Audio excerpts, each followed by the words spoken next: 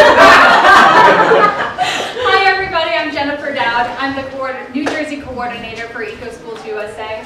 EcoSchools is an international recognition program sponsored by the UN internationally, headed by the National Wildlife Federation in the United States, and coordinated by New Jersey Audubon in New Jersey. My job is to grow, connect, and support, and recognize schools that are taking steps towards sustainability. It's an absolutely free program. We provide schools with a framework and 10 pathways that they can integrate within existing curriculum to start teaching kids through the lens of sustainability. So, across the nation, schools are engaging in this kind of work that impacts, that, that addresses national environmental issues on a local scale like what we're seeing with Diane.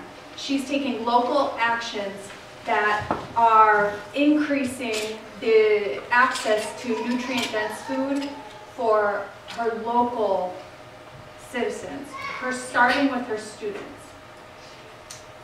Look over to Garfield. Garfield High School is putting earth boxes that are tended by the high schoolers all over the community, which the community can now access for free.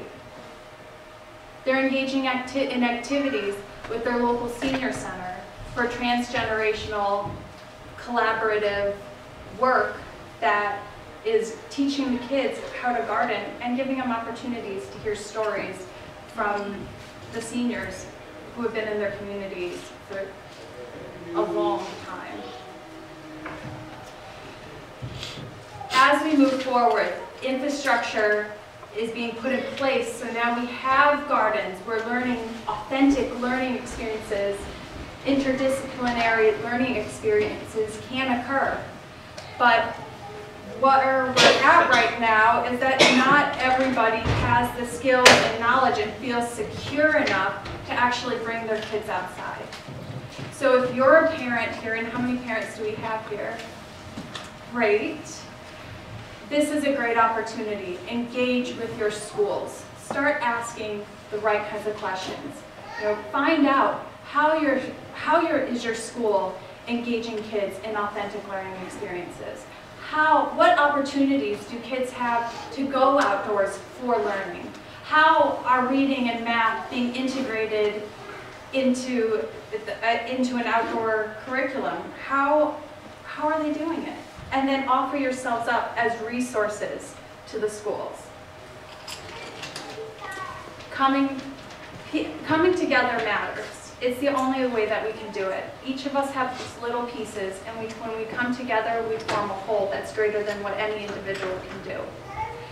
I'm here as a support system um, once you register for EcoSchools, that pretty much gives me the ability to come out. I can help with professional developments. I can work with the teachers so that they feel comfortable going out into the garden for learning. So I'm here, I'm accessible. Feel free to contact me for anything that you need. Okay, thank you, Deb. And we do have